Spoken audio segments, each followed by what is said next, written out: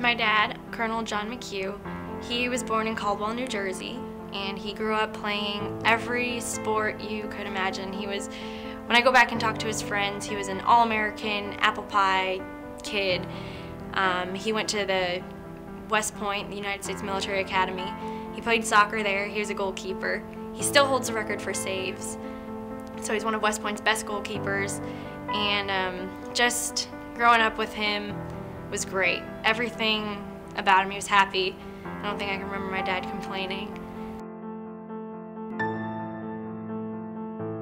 It was just, it was so confusing and the following day was just a blur. The following couple weeks were just a blur. I, when I think back to that time, I, I can't really make out a certain day or what we did during that day, but it was just everything kind of molded into one, people coming, people going, and yeah, it really, it just was really surreal.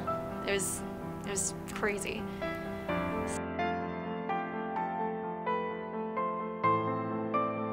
I have four siblings and my mom, and everybody deals with it so differently.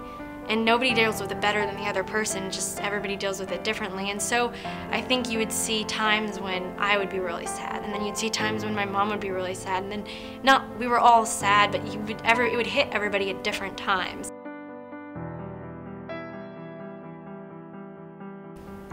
Out about Children of Fallen Patriots through a friend whose father was also killed in action. Um, he actually attended K-State too, and I was asking him about the GI Bill and about things like that and just money and how he went about things and because I was so confused. I, I, had no idea how to do any of it.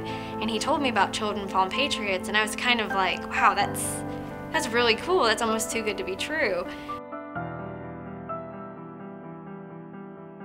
You know, from day one, not only were they there for me, you know, financially, and they helped me so, so, so much, um, but they were there for me. They, I still, I've been graduated for more than a year, and they still give me phone calls. Hey, how are you doing? Things like that. I made relationships with people who've been through the same things or who know people who've been through the same things, and you know, just having that connectivity with people like that was incredible. And then also having like the, the financial help as well was it was amazing. I mean, I, you know, I can't, when I first heard about it, and then when I started, even when I was going through it and working with Children of Fallen Patriots and being a recipient of all of their amazing help, it was, it was always, even now, it's almost too good to be true. They're, it's a fantastic organization, so.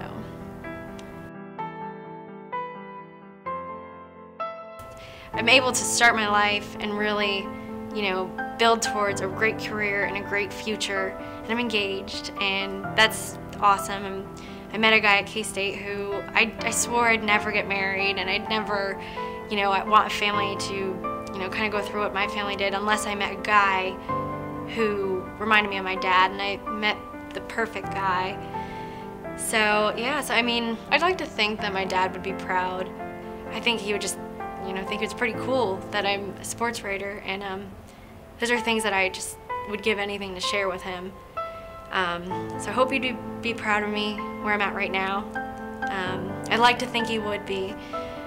So, and I, I mean, just to think of the sacrifice he made for my family and for our whole country, I mean, it's the best I can do to live my life in a way that, you know, would make him proud every day. I think about him every day and think about, you know, what he would want me to do and how he would want me to live my life. And so I hope, I hope I'm on that path.